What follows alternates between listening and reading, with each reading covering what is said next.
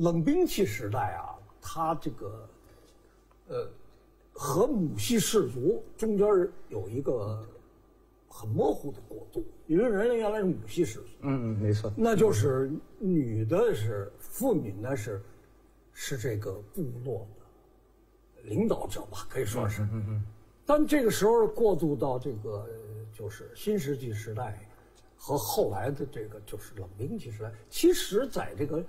旧时代，战争也是经常发生，因为那部族之间为了抢夺资源、抢夺这个人口，经常发生战争。所以呢，这个当这个冷兵事件出现以后吧，它有几个，尤其是咱说的就是地中海周边的这些，咱先说地中海周边的这些国家吧。嗯嗯嗯。它的一个特点，因为因为咱们把这个。旧的这个古代吧，咱们没有分成一个石器时代，还什么新石器、旧石器，但咱们的特点呢是陶器时代，就咱们的就是认为石器和陶器实际上没有明显的这个作为作为一个生产工具，但是西方一分呢，就石器，他那个石器就是说，早期人类是拿石头作战，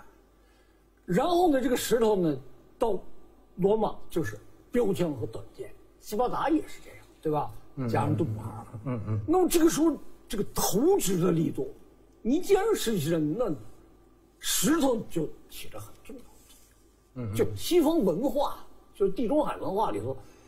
已经把石器和中中国这个陶器、木文化、纸文化中间的差别，就是它已经强调石头，石头作用的派生出来就是扔石头，那就是梭镖，对吧？你看它不是。长矛，它是梭镖，它得投得很远。另外呢，它是短剑，尤其是罗马，罗马那个精兵短剑，嗯嗯，当然了还有盾牌。这个时候和中国的弓箭和长矛，因为长矛并是刺杀，并不是这个投掷，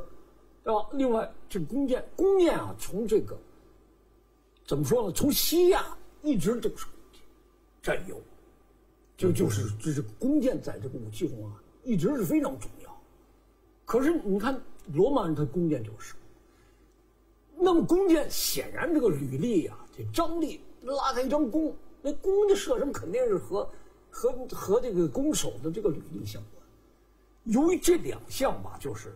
女子的这个体力就稍微欠了一点就就是在这种战争，无论石块战争也好，还是弓箭战争也好，就相对差。另外呢，就是这个就是。女子的心理吧，就因为这个都是很血腥的，一刀下血出来，女的这个心理承受力也有点那种那种柔和性、柔和柔和性的就差一点。嗯嗯。于是呢，女子就是你说的前半部分呢，就渐渐就是和战争保持了一些距离。